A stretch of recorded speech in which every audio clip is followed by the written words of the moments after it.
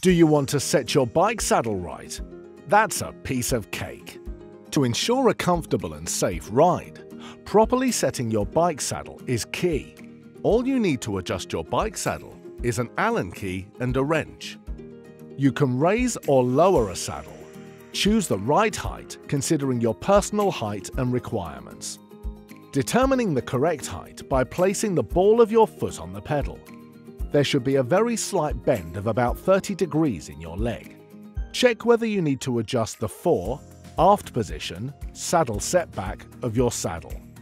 Place your saddle horizontally and make sure that your foot is below your knee when pedaling.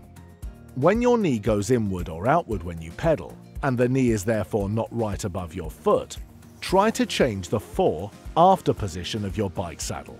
Are you new to biking and not overly confident? Safety comes first. Adjust your saddle allowing your feet to touch the ground. Have fun with your properly set saddle.